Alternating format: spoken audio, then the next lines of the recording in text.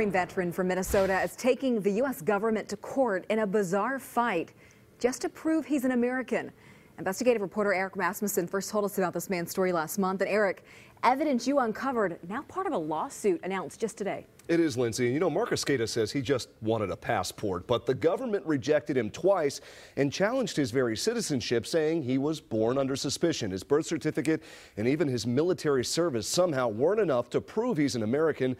Now, just a few weeks after we found his original birth records in Texas, Esqueda is suing the State Department.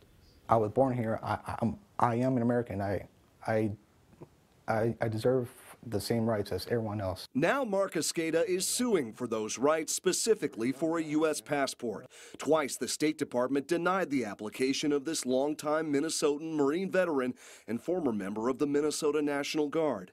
The feds suspect his U.S. birth certificate is fraudulent, that Esqueda might have actually been born in Mexico.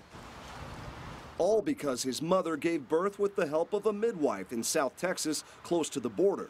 In the past, some midwives admitted to falsely filing birth records for families from Mexico. Our government um, is holding him to a higher standard because of where he happened to be born. Lawyer Jenny Gassman Pines and the American Civil Liberties Union of Minnesota just filed a federal lawsuit on Esqueda's behalf, saying Mark put his life at risk to protect and defend this country. We're prepared for a fight if that's what it comes to, um, but we're hoping that this can be resolved quickly. In March, five investigates tracked down the midwife who delivered Esqueda in 1988. His original birth records show a Hidalgo, Texas police officer witnessed the birth and signed off on its authenticity. To see him pull off the file folder uh, from 1988 and say, oh, here is Mark Esqueda, and have the documentation that he needed, um, that's just uh, amazing. Do you think it'll make a difference? I, I really hope it does.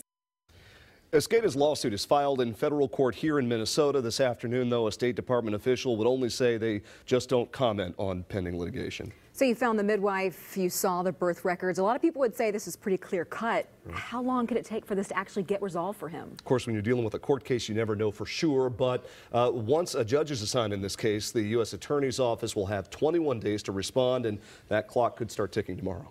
Please keep us updated, Eric. Thank you.